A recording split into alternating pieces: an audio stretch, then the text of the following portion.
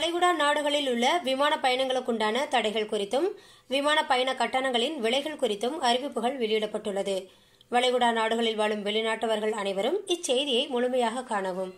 Emirates விமான நிறுவனம் வரும் பிப்ரவரி ஏழு முதல் இருபது வரை துபாயிலிருந்து குவைத்திற்கு செல்லக்கூடிய விமானங்கள் தற்காலிகமாக இயங்காது என அறிவிக்கப்பட்டுள்ள நிலையில் இந்த இடைப்பட்ட காலங்களில் டிக்கெட்டுகளை முன்பதிவு செய்த வாடிக்கையாளர்களிடம் சிரமத்திற்கு வருந்துவதாகவும் பாதிக்கப்பட்ட வாடிக்கையாளர்கள் தங்களுக்கான டிக்கெட் மறுமுன்பதிவை செய்ய தங்கள் முன்பதிவு முகவர் அல்லது எமிரேட்ஸ் கால் சென்டரை தொடர்பு கொள்ள வேண்டும் என்றும் உங்களுக்கான புதுப்பிப்பு அறிவிப்புகளை பெற வாடிக்கையாளர்கள் உங்கள் முன்பதிவை பார்வையிடுவதன் மூலம் உங்களின் தொடர்பு விவரங்கள் சரியானவை என்பதை உறுதிப்படுத்துமாறும் எமிரேட்ஸ் விமான நிறுவனம் கேட்டுக்கொண்டுள்ளது.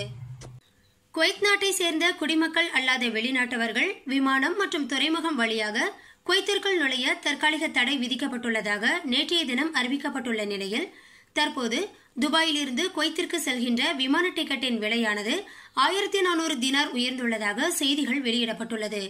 இந்த செய்தியானது அனைவரிடத்திலும் பெரும் குழப்பத்தை ஏற்படுத்தியுள்ளது.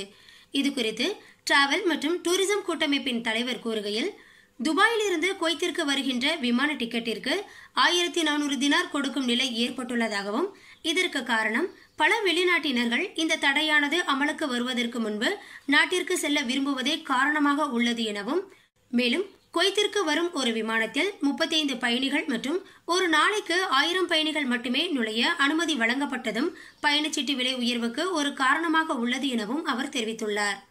கடந்த ஞாயிற்றுக்கிழமை முதல் விமானங்களை முன்பதிவு செய்வதில் பெரும் குழப்பம் ஏற்பட்டுள்ள நிலையில் பல விமானங்கள் ரத்து செய்யப்பட்டுள்ளதால் அடுத்த வாரம் நாட்டில் நுழைய வேண்டிய குடிமக்கள் மற்றும் வெளிநாட்டவர் விமானங்கள் கிடைக்காமல் பயணச்சீட்டுகளை ரத்து செய்துள்ளனர்.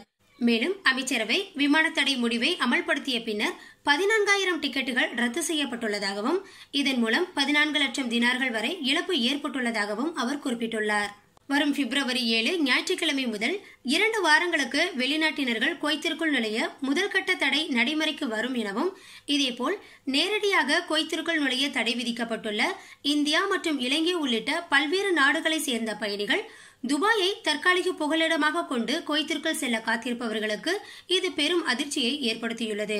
இருப்பினும் இந்த தற்காலிக தடையிலிருந்து குவைத் குடிமக்கள் அவர்களின் நெருங்கிய உறவினர்கள் மற்றும் வீட்டு தொழிலாளர்களுக்கு விலக்களிக்கப்பட்டுள்ளதாகவும் தெரிவிக்கப்பட்டுள்ளது. மேலும் இதுபோன்ற செய்திகளை உடனுக்குடன் தெரிந்து கொள்ள நமது ஜிபிஎஸ் தமிழ் சேனலை சப்ஸ்கிரைப் செய்து கொள்ளுங்கள். கூடவே பெல் பட்டனையும் கிளிக் செய்து கொள்ளுங்கள் நன்றி.